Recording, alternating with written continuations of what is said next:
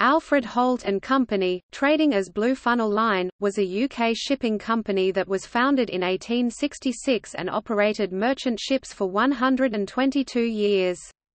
It was one of the UK's larger shipowning and operating companies, and as such had a significant role in the country's overseas trade and in the First and Second World Wars.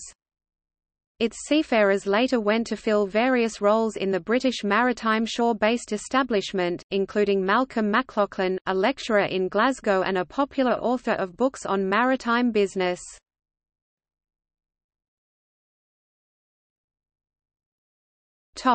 History Alfred Holt founded the business on 16 January 1866. The main operating subsidiary was the Ocean Steamship Company, which owned and operated the majority of the company's vessels.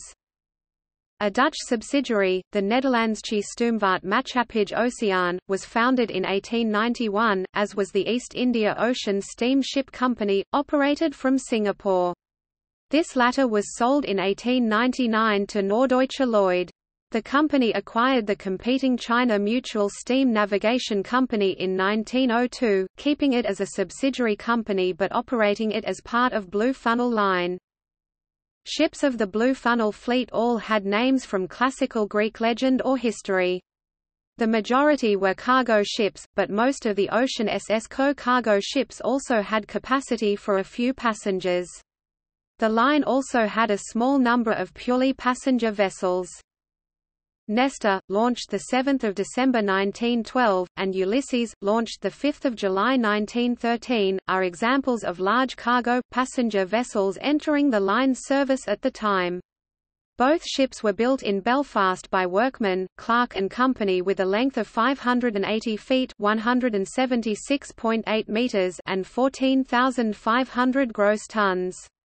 Passenger accommodations were for first class only and seven cargo holds, one and a tween deck space fitted for refrigerated meat, dairy and fruit cargoes, provided accommodation of the largest consignments. In the 1920s, Blue Funnel became the first British shipping company to employ a woman marine engineer.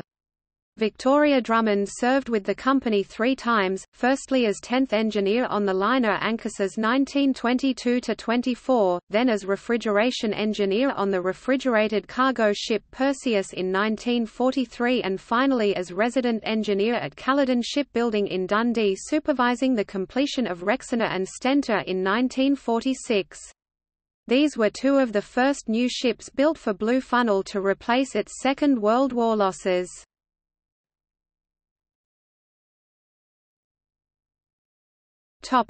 Post-World Wars Blue Funnel lost 16 ships in the First World War and 30 in the Second. After each war it restored its fleet with new ships. After the Second War it regained tonnage rapidly by buying six Victory ships from the United States Maritime Commission in 1946 and eight SAM Ships from the Ministry of War Transport in 1947, two Blue Funnel ships, MS Agapenor and MS Melampus were trapped by the Six-Day War of 1967 and became part of the Yellow Fleet in the Great Bitter Lake, remaining there until 1975.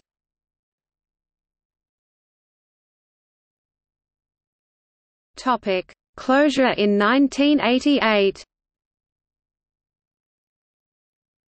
From 1947 to 1970, as Britain's empire began to shrink, so did its trade. Meanwhile, companies from other parts of the world began to operate more competitively. Cabotage regulations prevented British flag companies from trading on routes that were previously their monopolies. These factors resulted in Blue Funnel's fleet to shrink. The company finally came to an end in 1988 when Ocean Group withdrew from the Barber Blue Sea service, its last shipping line. The Merseyside Maritime Museum Archive and Library holds the company archive. Topic references and sources References Sources Drummond, Cherry 1994. The Remarkable Life of Victoria Drummond, Marine Engineer. London, Institute of Marine Engineers. ISBN 0-907206-54-9. Talbot Booth, E.C. 1942-1936. Ships and the Sea 7th ed. London, Sampson Low, Marston & Co. Limited. pp. 486–487, Bookscook, Ian 2010. Those in Peril, A Blue Funnel Story, a 56-year love affair with ships. Christchurch, NZ, Wilson Scott Publishing.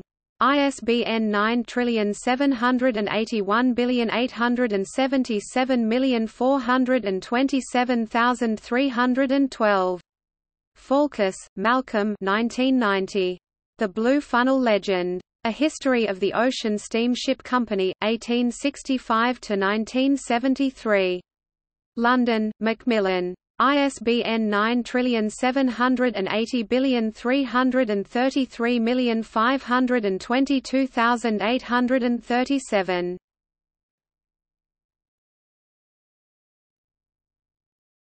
Topic Links bluefunnel.misen.co.uk red-duster.co.uk kbolton.beatinternet.co.uk TheShipsList.com